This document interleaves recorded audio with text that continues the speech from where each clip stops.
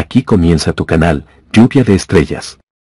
Con las últimas noticias de la farándula y los mejores reality shows.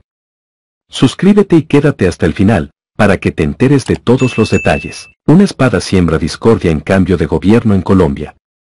La primera orden del nuevo presidente Gustavo Petro o fue llevar la espada de Simón Bolívar al acto de investidura. El ahora expresidente Iván Duque, acérrimo opositor de Petro, se rehusó a cederla para la ceremonia. La ceremonia de investidura de Gustavo Petro, como primer gobernante de izquierda de Colombia, tuvo una pausa inesperada por cuenta de una espada cargada de simbolismo, y que terminó sembrando discordia entre el gobierno entrante y el saliente como presidente de Colombia le solicito a la Casa Militar traer la espada de Bolívar. Es una orden del mandato popular y de este mandatario, dijo Petro en su primera decisión tan pronto tomó juramento. Solo hasta que el arma fue llevada de la sede presidencial hasta la Plaza de Bolívar, donde se llevaba a cabo el acto, el nuevo mandatario dio su discurso de investidura.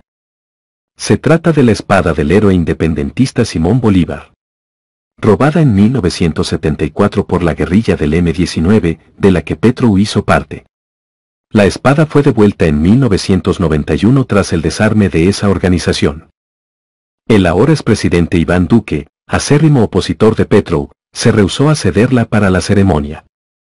Finalmente fue llevada hasta la Plaza de Bolívar en una urna de vidrio, por cuatro miembros de la Guardia Presidencial que acataron la primera orden del nuevo mandatario. Llegar aquí, junto a esta espada, para mí es toda una vida, una resistencia. Esta espada representa demasiado para nosotros, destacó Petro. En 1990 el M-19 firmó la paz y se convirtió en partido político, y al siguiente año el dirigente Antonio Navarro viajó a Venezuela para recibir la espada, del diplomático cubano Norberto Hernández. La espada volvió a aparecer en público en julio de 2020, cuando Duque la llevó al Palacio de Gobierno para conmemorar los 237 años del nacimiento de Bolívar.